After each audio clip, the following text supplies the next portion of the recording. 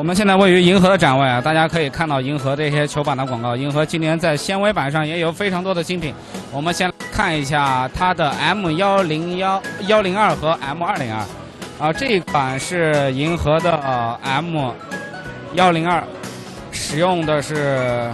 啊外置结构，然后 M 二零二使用的是呃内置结构。它主要区别在于，呃，这两种现在外置和内置的方碳都十分流行，但银河使用的啊并不是方碳纤维，它使用的是一种叫做吸轮纤维的东西。呃，吸轮纤维它有别于我们常见的那种方碳纤维，因为它的那个强度要比方碳纤维更大，但是它的重量要更轻，因此这两只球板国际会手呃握着感觉应该都是不足九十克。声音都是也是比较清脆，啊，我们对这两款球板的性能也十分期待。然后咱们再来看银河战神系列的下两款球板。我估计很多球友对于益智球板都没有什么概念，咱们来看一下银河战神系列的另外两款球板，是 M 九零幺。哦，我们可以看到 M 九零幺的正面使用的是鸡翅木，然而它的反面使用的却是零八面材。再看这只球板的侧结构，鸡翅木的鸡翅木面的那个吸轮纤维是放在面材之下，而零八面材下面的那个吸轮纤维是放在立材之下。这样的抑制结构设计呢，能让正手跟反手形成。很明显的差异化区别，也就是说，一支球板能打出两支球板的感觉。呃，比如这支球板应该就是正面，它使用了硬面面材，而且纤维外置，因此手感会比较偏硬；但是反面是软的、较软的零八面材，而且纤维是内置，因此手感就会偏软。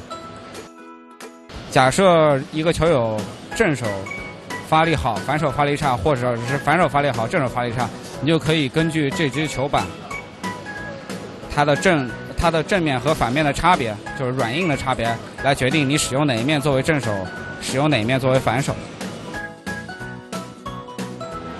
这次银河还展示了他们的新球台，这个球台的名字叫做 Real 叉二五，啊，这个球台的颜色非常的好看，大家可以看一下，它是一种海蓝，海蓝的那种颜色，非常的亮，而且它的底座是用一个 X 的造型。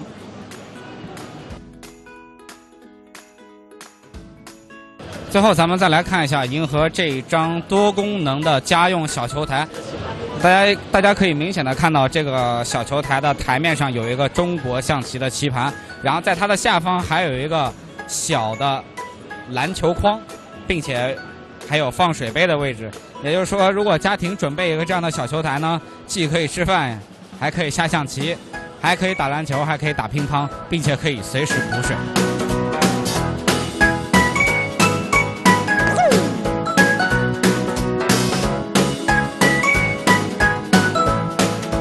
好了我们现在位于玉康腾的展位。大家都知道，玉康腾是一个特别追求设计感的一个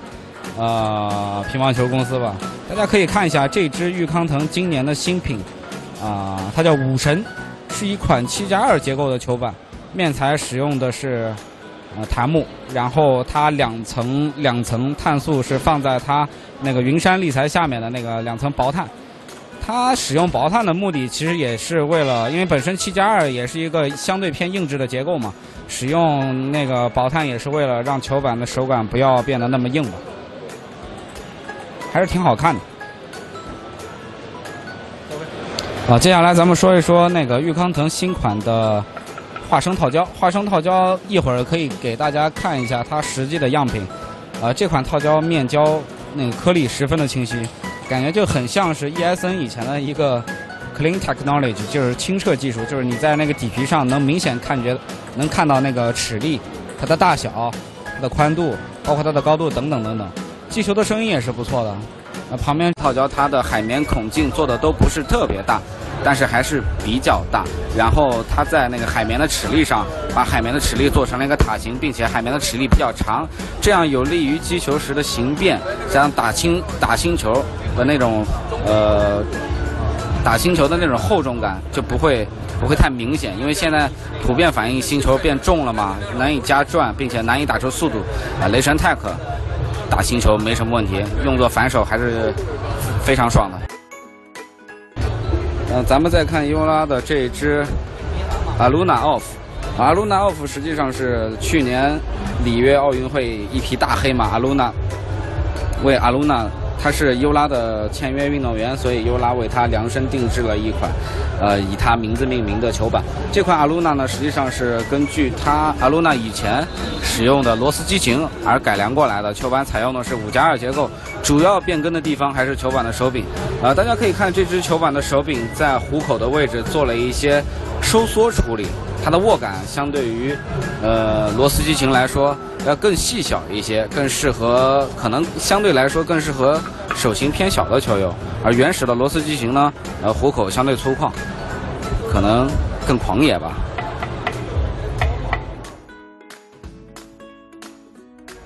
啊，咱们再来看看。优拉今年新出的这一款三 D 传奇水晶鞋，它比较有特点的地方是，首先鞋身是三 D 打印，其次它是它的那个荧光色款使用的是一个水晶鞋底，啊，大家也可以清晰的看见这底下的一个透气孔，底下有那个呃钢丝网作为支撑，呃，球鞋虽然不算轻，但是啊它的包裹感还是不错的，整体的支撑力也还行。这款球鞋分为两个款式，分别是荧光色款和白色款，荧光色款可能喜可能适合比较喜欢那种。骚气的朋友，然后白色款相对低调。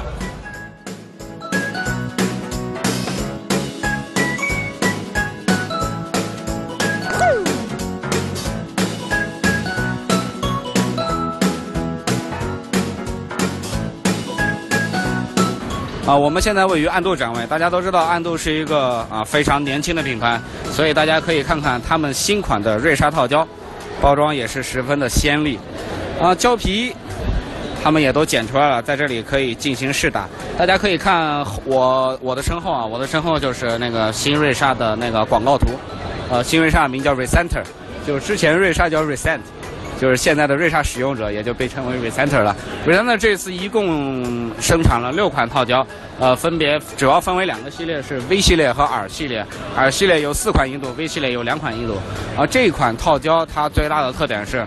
它的海绵厚度有二点三毫米，我们常见的进口套胶的 Max 厚度差不多也只有二点二。因为现在新材料球，呃出现之后，可能海绵它需要有更强的后劲儿，所以这次可能暗度在整体厚度不超厚的情况下加厚了海绵的厚度，所以让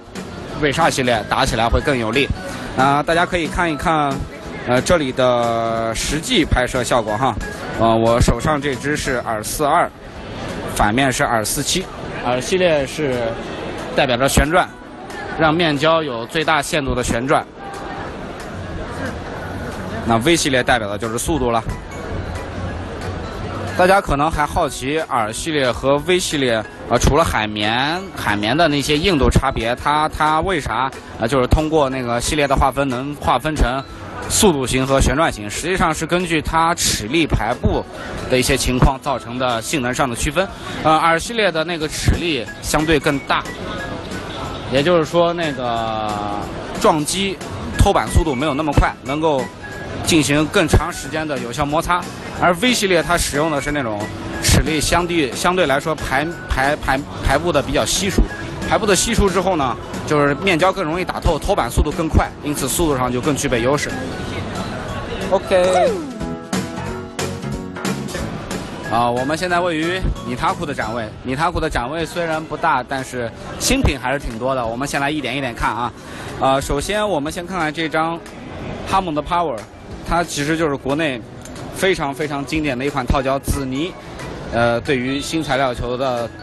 呃，针对新材料球推出了一个新品，啊，哈蒙的 Power，呃，实际上国球会军也还没有试打过，但是国球会军表示非常的期待，因为紫泥实在是太经典了，应该是影响了几代人的产品之一吧，经典的日系之一。呃，另外的这款 ALHELG 这款套胶呢，它在今年也是推出了两款新品，可能大家对于中日合璧。的套胶印象不深，但其实这一款套胶是一款中日合璧的典型。它使用的是日本制造的面胶，然后中国制造的海绵。因为现在的中国海绵研发技术，呃，也是世界比较领先的了。这款套胶就是一个典型的中日合璧技术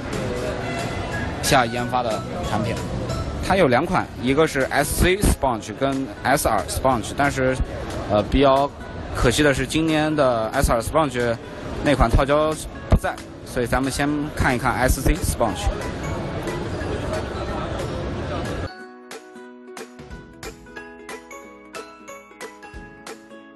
啊，咱们再来看一下尼塔古今年新推出的旋风王系列。旋风王系列呢，实际上也是有三款产品，但是今天展位上只有两款，咱所以咱们先拿两款说吧。啊，旋风王这个系列呢，是分五层纯木。外质纤维，还有一款内质纤维。内质纤维今天不在啊。五层纯木使用的是经典五层结构，然后使用的是鸡翅木作为面材。